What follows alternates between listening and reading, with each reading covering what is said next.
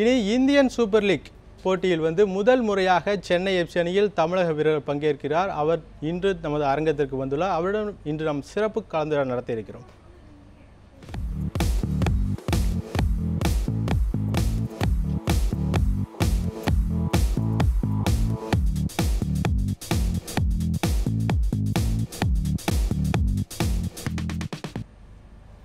Indian super league கால்பந்து தொடரில் சென்னை அணியில் தமிழக வீரர் ஒருவர் கூட இல்லை என்ற கால்பந்து அணிகளின் ரசிகர்களின் இயக்கம் தற்பொழுது தீர்ந்துள்ளது.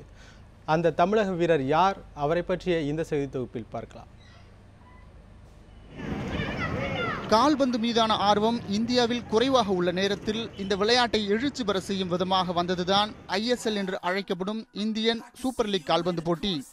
எட்டு அணிகள் பங்கேற்ற இந்த போட்டியின் கடந்த சீசனில் சென்னை அணியில் ஒரு தமிழக வீரர் கூட இடம்பெறவில்லை. இந்நிலையில் இந்த ஆண்டு நடைபெற உள்ள இரண்டாவது சீசனில் சென்னை அணியில் முதல் தமிழக வீரராக இருபத்தி ஓரு வயதான தனபால் கணேஷ் இடம்பெற்றுள்ளார். இதன் மூலம் சென்னை அணியில் தமிழக வீரர் ஒருவர் கூட இல்லை என்ற கால்பந்து ரசிகர்களின் ஏக்கம் தீர்ந்துள்ளது. போன வருஷம் சென்னை சென்னை எஃப்சியில் வந்து விளாண்டாங்க பிளேயரு அதில் வந்து தமிழ்நாடு பிளேயரோ சென்னை பிளேயர் யாருமே இது வரைக்கும் விளாண்டதே இல்லை.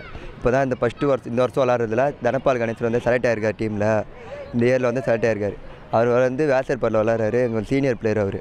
அவர் வந்து எனக்கு விளாட்றது ஒரு எடுத்துக்காட்டாக இருக்குது அவர் வந்து எங்களுக்கு வந்து ரோல் மாடல் யங்ஸ்டாருக்கு வந்து ரோல் மாடலாக இருக்கார். வடசென்னை வியாசர்பாடியில் உள்ள லாரி டிரைவரின் மூன்றாவது மகன்தான் இந்த தனபால் கணேஷ். ஒன்பதாம் வகுப்பு படிக்கும் போதே கால்பந்து மீது இவருக்கு ஆர்வம் ஏற்பட்டது.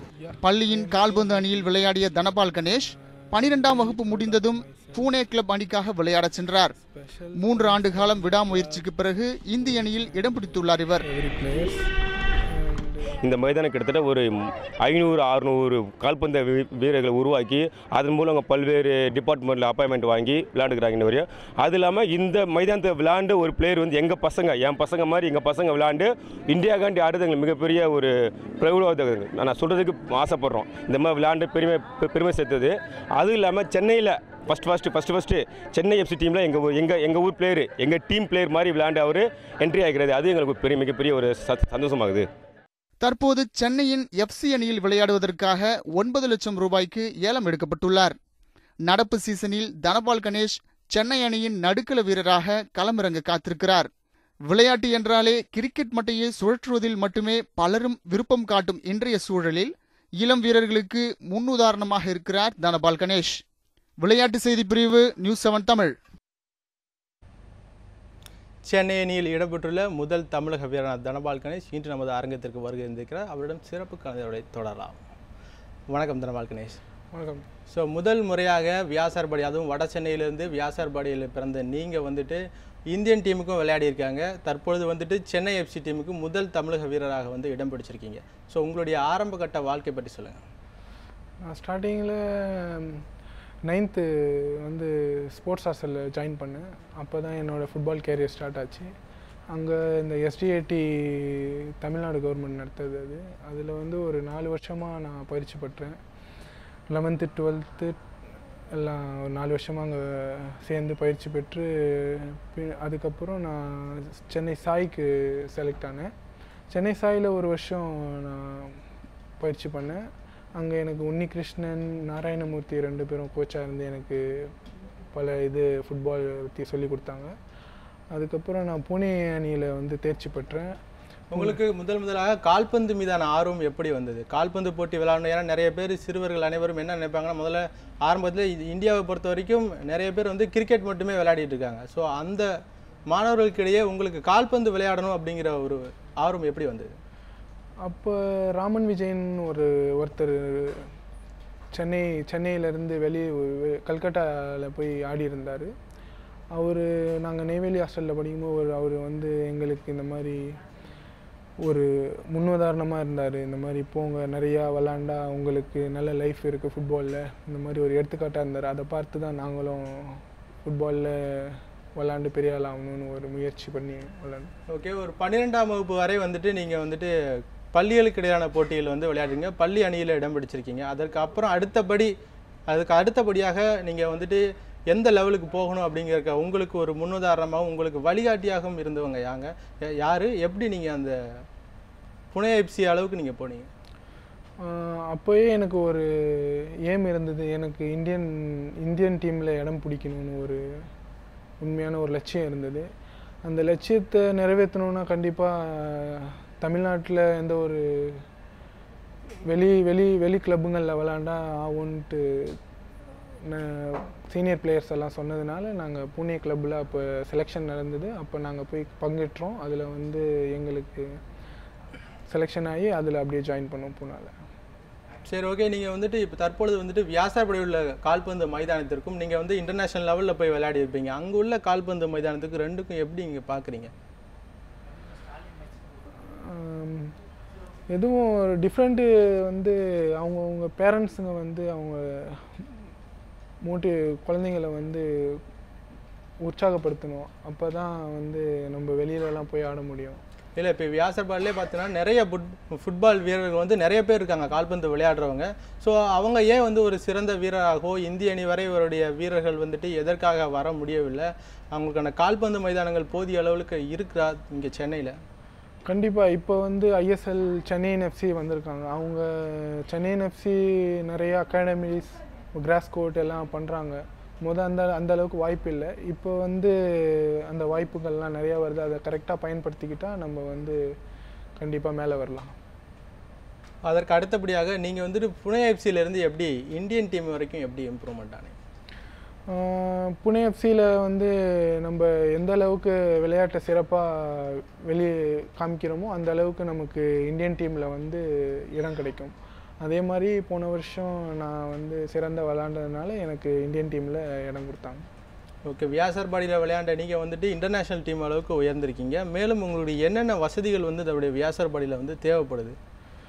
கண்டிப்பாக நிறைய கிரவுண்ட்ஸ் கொஞ்சம் டெவலப் பண்ணணும் வேசார்பாடியில் அப்புறம் குழந்தைங்களை வந்து ஒரு ப்ராப்பராக ஒரு அகாடமி இந்த மாதிரி ஏதாவது ஒரு பயிற்சி மையம் ஏதாவது ஒன்று தொடங்கணும். அந்த மாதிரி தொடங்கினா நிறைய யூஸ்ஃபுல்லாக இருக்கும் நீங்கள் சென்னையில் இருந்திருக்கீங்க. சென்னையிலேருந்து புனே எஃப்சி கிளப்புக்காக விளையாட போயிருக்கீங்க. ஏன் சென்னையிலே நீங்கள் வந்துட்டு விளையாடி அதுலேருந்து ஏன் உங்களுக்கு அதுக்கு அடுத்த கட்ட முயற்சியை நீங்கள் ஏன் தொடங்கலை? இங்கேருந்து ஏன் புனேக்கு போயிட்டு அங்கேருந்து கிளப் பண்ணி இருக்க விளையாடுனீங்க? அப்போ வந்து சென்னையில் வந்து எந்த ஒரு ப்ரொஃபஷனல் கிளப் எதுவும் இல்லை. இப்போ தான் சென்னை எஃப்சி கடந்த இரண்டு வருடங்களாக ஸ்டார்ட் பண்ணியிருக்காங்க. அப்போ எந்த கிளப்பு இருந்திருந்தால் கண்டிப்பாக நான் வெளியில் போகிறதுக்கு அவசியம் இல்லை. நான் இங்கேயே ஆடி எனக்கு தெரிஞ்சு சொந்த நாட்டுக்கு இதுக்காண்டி ஆடி இருப்பேன். இப்போ பார்த்தீங்க அப்படின்னா நீங்கள் வந்து மிட்ஃபீல்டரை வந்து சூஸ் பண்ணியிருக்கீங்க ஒரு ஃபார்வர்ட் இருக்காங்க டிஃபெண்டர் இருக்காங்க. ரெண்டு பேருக்கு இடையில ஒரு கனெக்டிவிட்டி ஏற்படுத்தவங்க தான் மிட்ஃபீல்டர் நீங்கள் எதுக்கு மிட்ஃபீல்டரை வந்துட்டு தேர்ந்தெடுத்துட்டீங்க. அந்த பொசிஷனில் நீங்கள் விளாடணும்னு ஏன் தேர்ந்தெடுத்தீங்க? ஏன்னா வந்துட்டு ஃபார்வேர்டில் இருக்கிறவங்க அந்த கோல் அடிக்கிறவங்க தான் அதிக பேருக்கு வந்து ஞாபகத்தில் இருப்பாங்க.